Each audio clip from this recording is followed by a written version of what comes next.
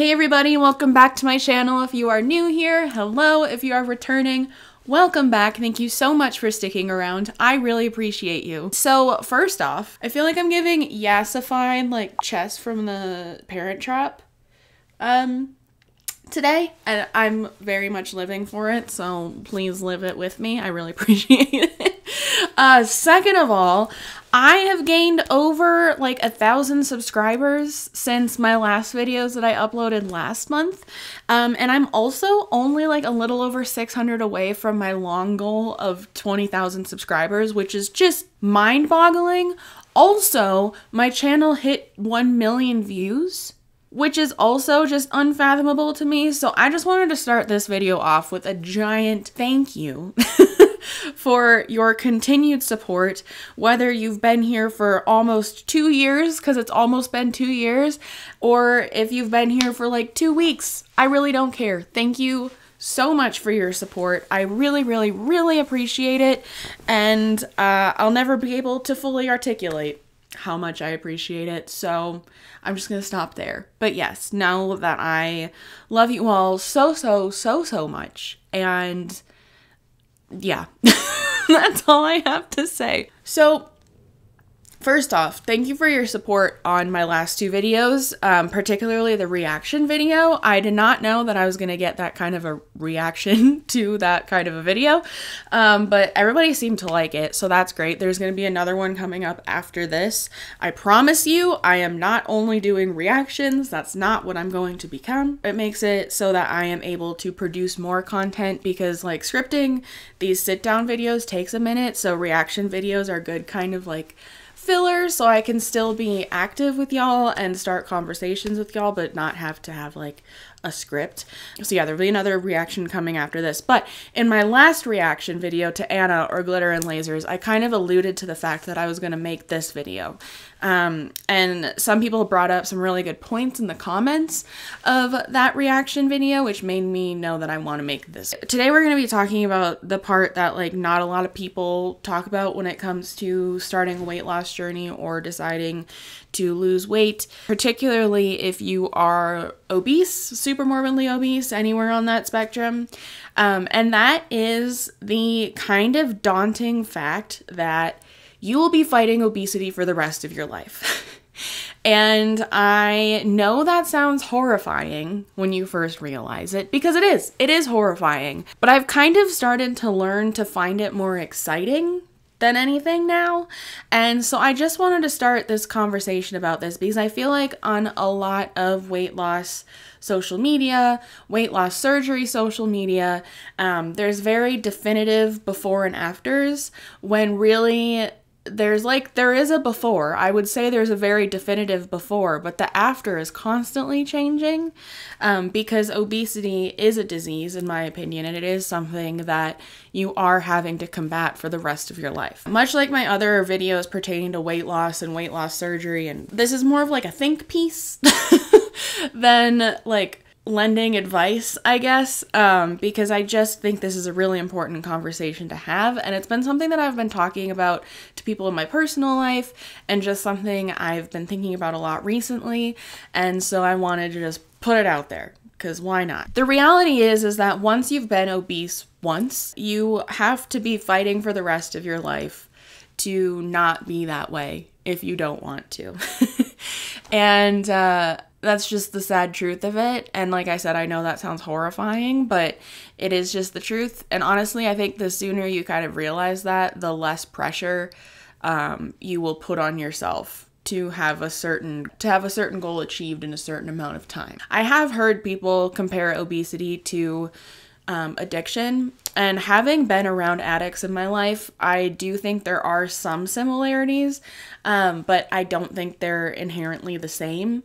I do think addiction is, an, is a disease, but I think um, obesity, I don't know, for some reason there's just something different, and I that could just be a me thing. I don't know.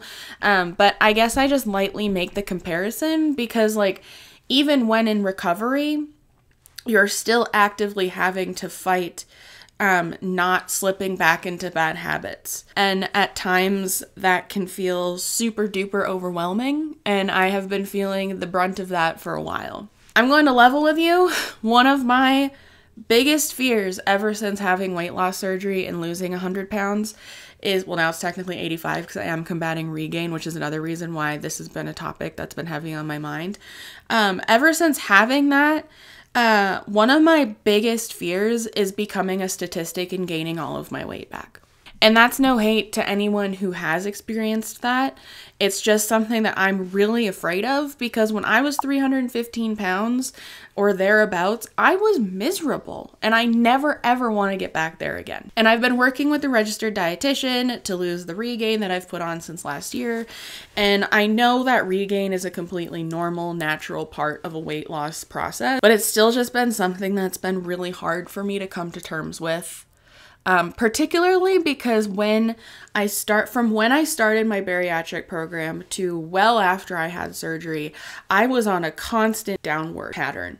I never gained weight over the course of that time, and the only I only just started having to navigate regain like last year. And so this is a very new thing for me.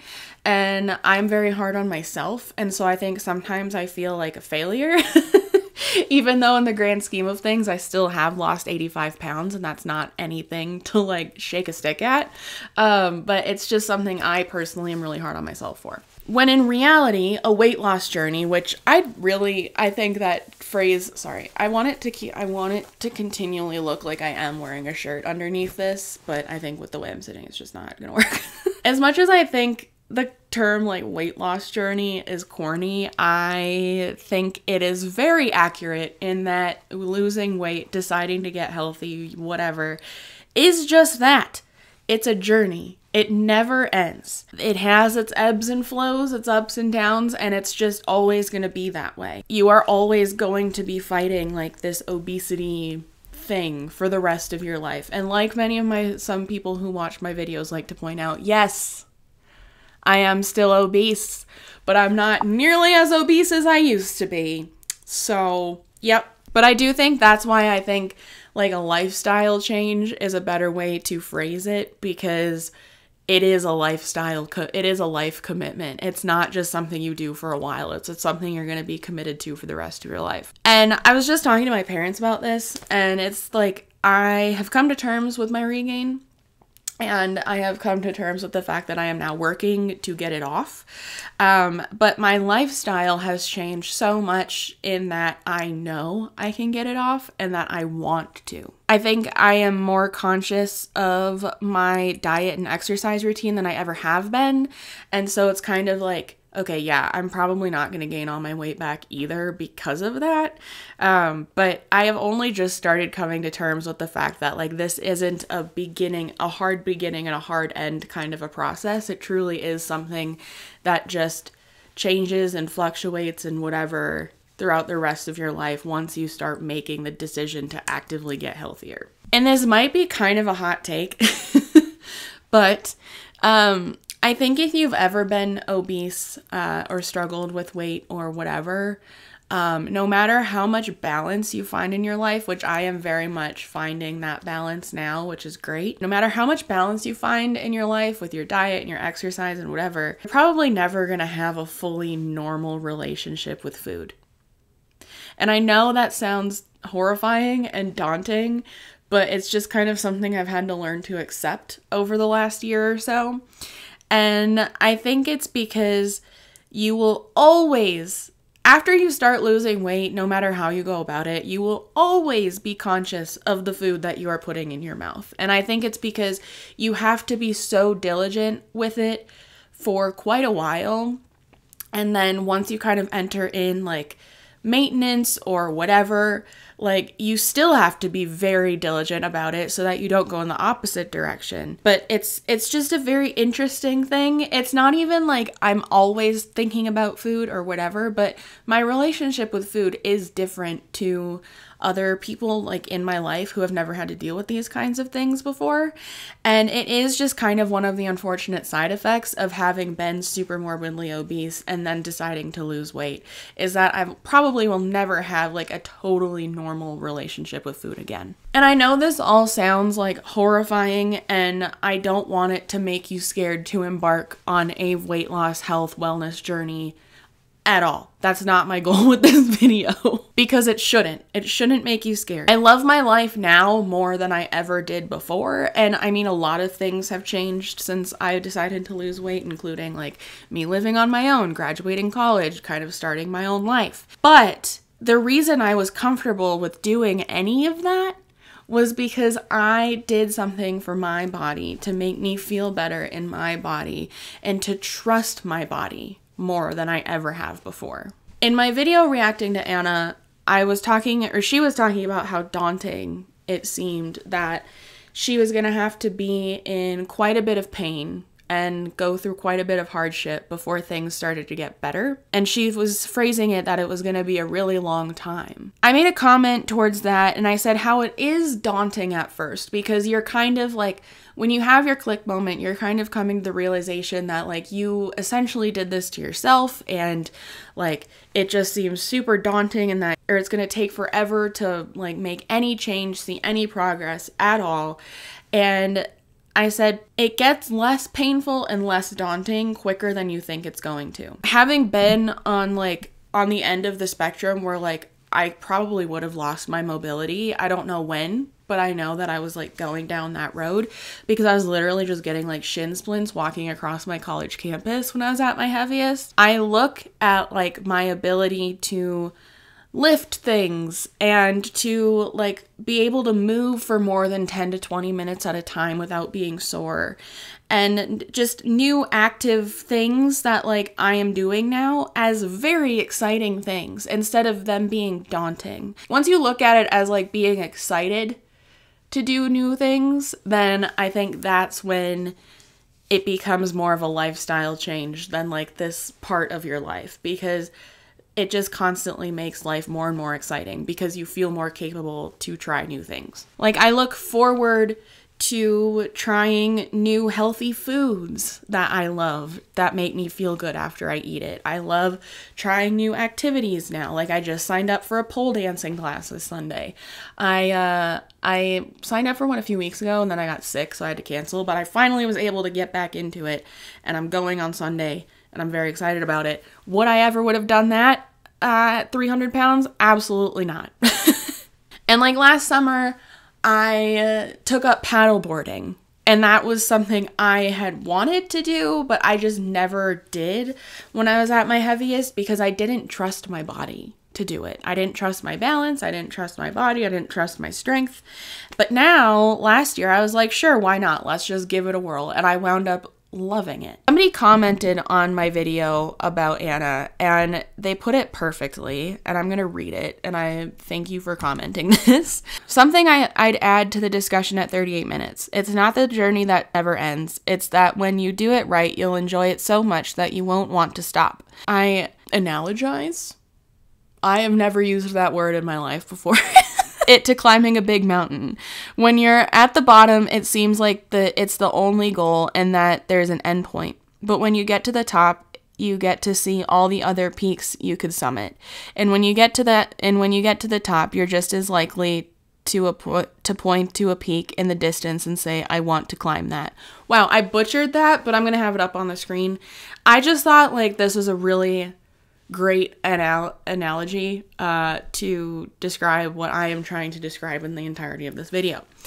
The best way I can put it, honestly, me personally, is that after weight loss, getting healthier, more fit, whatever you're trying to accomplish, I feel like I I feel like I and others that I have talked to have learned to love and appreciate life so much more. And you learn, like I said, you learn to trust your body so much more When I was at my heaviest, I was so scared to try anything new in terms of physical activity. I just like didn't trust my body and I never want to go back to that point again. And I love my body and all of the things it can do now. And I and all the new trust I have in it. And I'm still getting there, to be honest, but like the trust that I have in my ability to do new things is infinitely better than it ever used to be. And that makes life so much more exciting. And I think also, kind of tying into all this, once you kind of realize that like losing weight and fighting obesity is more of a long game instead of a thing that you do the bulk of once and then just kind of obsess over like maintaining. At least that's what I did. I think once you realize it's more of a long game and it doesn't have a definitive endpoint and it shouldn't really have a definitive endpoint, I think that helped me when I realized that it helped me fix my relationship with health and wellness. It doesn't seem as daunting to know that I have the rest of my life to figure it out along the way. It doesn't have to be perfect all the time. And finding new ways you enjoy moving your body and finding new healthy foods you love to make and you love to eat that make you feel good after you eat them is a lifetime's worth of work. And that's okay because we're constantly changing. And when I started looking at it that way, it really helped alleviate a lot of pressure that I had on myself. And so I just wanted to make this video to for anybody who might just be starting this whole thing or for people who have done it, who have done the bulk of it and now are kind of realizing like, wow, this is a lot of work to keep up.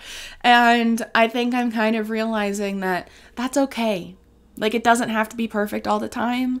Just as long as we're making like smaller good decisions like to benefit our health and our wellness over the course of our life that's that's all that really matters. You don't really have to go balls to the wall all the time. Um, i did to get the initial weight off but now that i'm kind of in like maintenance and like losing some regain and whatever that phase um, yeah i just i think looking at it as more of a long game and a lifelong thing is the best way for me and uh, I've talked to some people who agree that it's the best way for them as well. Like I said, I wasn't really making this video to lend any advice. Um, it's just something that's been heavy on my noggin for a while because I was just talking to somebody the other day that like fighting obesity is kind of exhausting. It's like not a great thing to have to do all the time. But I think when I started to reframe it as like being excited uh, about all the new things that I can do now, that changed my view of it a lot. And I did talk about in a video once before where sometimes I really just miss like not giving a fuck. Like, and I still stand by that. Like, I miss, I miss just not giving a shit like all the time. But I think now it's kind of become learning to find that healthy balance of like not really caring sometimes, but caring for the most part because it benefits you in the long run and because it makes you feel better. But yeah, I just wanted to start this conversation. Sound off in the comments what you think about it. Um, yeah, I'll be down there. I'll be talking for a little while. And that's all I've got for this one. Um, be kind to yourself be kind to others, drink your water, take your meds, and I'll see you in the next one. I love you so much. Bye.